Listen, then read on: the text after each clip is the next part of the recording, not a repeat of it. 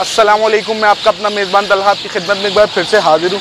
तो भाई आज हम मौजूद हैं दमतल की हलवा पूड़ी पे। इतने दिनों से हम ऐसा नाश्ता कर रहे थे, बोर हो गए थे। तो छुट्टी का दिन था, हमने सोचा आके यहाँ पे कुछ इंटरेस्टिंग किया जाए, कुछ अच्छा नाश्ता किया जाए। और हफ़्ते का दिन, छुट्टी का दिन हो कराची में, हलवा पूड़ी का नाश्ता ना हो, ये हो नहीं सकता। तो चलते हैं दमतल के माहौल, देखते हैं कैसा है, क्या है, और आपको दिखाते हैं। तो भाई आपके साथ मैं दमतल की थोड़ी हिस्ट्री शेयर कर दूँ। हमने पूछा था इनके ओनर से तो उन्होंने बताया लाहौर से आगे एक गाँव है। दमतल। तो वो वहाँ रहते थे, उस नाम से इन्होंने दमतल हलवा पूड़ी इंट्रोड्यूस किया।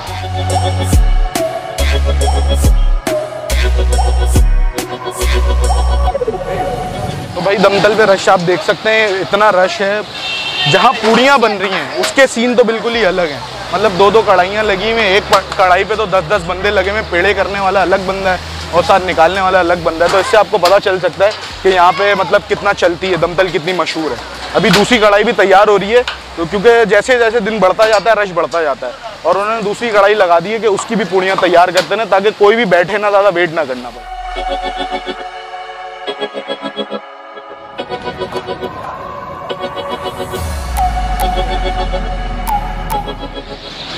भाई, नाश्ता आ गया हमारा। हलवा पूड़ी, दमदल की हलवा पूड़ी। भूख से बहुत बुरा हाल हुआ हुआ था। सुबह से कुछ खाया नहीं था क्योंकि डायरेक्ट इधर ही आए थे।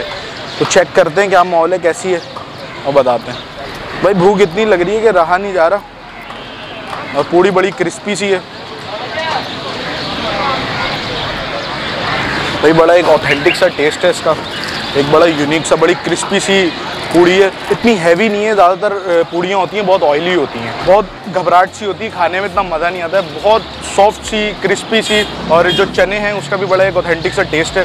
बहुत मज़े का आ रहा है वो भी। बहुत अच्छा लगा। हलवे का बहुत सुना है अगर सुना है कि हलवा बहुत मज़े का होता है तो चेक करते हैं कि हलवे के भी क्या गेम है।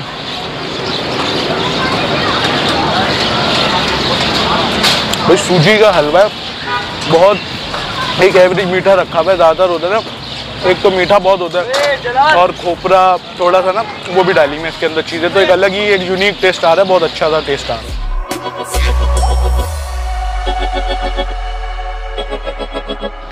भाई एक बाइट लिया आलू की तरकारी के साथ। वैसे मैं आलू की तरकारी पसंद नहीं करता। चने और हलवे मुझे पसंद होते हैं मगर यहाँ की आलू की तरकारी भी एक ना बड़ी एक यूनिक सा एक ऑथेंटिक टेस्ट है बहुत अच्छा लग रहा है। एक अलग ही फ्लेवर आ रहे हैं मुँह में। एक खट्टा, थोड़ा सा ना आलू और उसके ज़ीरा वगैरह डाला हुआ है तो बहुत अच्छा टेस्ट आ रहा है इसके साथ भाई सीन हमारा ये है जो हम रिव्यू कहते हैं। अक्सर लोग कहते हैं कि आप हर चीज़ को मज़ेदार मज़ेदार कहते हैं। हम उस चीज़ को मज़ेदार कहते हैं जो चीज़ मज़ेदार होती है। और दमतल की हलवा पूड़ी को आप कौन नहीं जानता? वो मज़ेदार ही है भाई। बहुत ही एक अलग ही टेस्ट है, अलग ही टेस्ट है। और बाहर बैठ के खाना छुट्टी वाले दिन एक पूरा माहौल होता है यहाँ पे खाने का। तो एक अलग वाइब्स आती है यहाँ पे खाने की। बहुत मज़े की हलवा पूड़ी है, जब भी यहाँ ट्रायल आदमी करें। भाई, हलवे की मैं एक चीज़ बताना भूल गया कि हलवे में जो मुझे वाइब आ रही है गाँव वाली वाइब आ रही है। दरअसल मैं हूँ साहिवाल से। तो बचपन से हम वहाँ आते जाते रहते हैं, हमने देसी घी बहुत खाया तो उस चीज़ की फील का मैं अंदाज़ा है क्या है। तो वही देसी घी यहाँ पे भी हमें थोड़ी वाइब करा रहा है कि एक देसी चीज़ करवा रहा है तो बहुत मज़े का भाई, नाश्ता हमारा हो गया है और धूप भी निकल चुकी है। जब सुबह आए थे, ठंडा सा माहौल था यहाँ पे, बड़ी एक ठंड सी फील हो रही थी। अब धूप निकल गई थोड़ी सी तपिश आ रही है, थोड़ा एक सुकून मिल रहा है, एक अच्छा माहौल बन चुका है।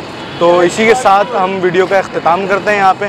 फिर मिलेंगे हम एक नई एपिसोड के साथ, जब तक अपना ख्याल रखें और चैनल को सब्सक्राइब लाजमी करें शेयर करें और कमेंट करें। फिर मिलेंगे एक नई वीडियो के साथ। Take care खुदाफिज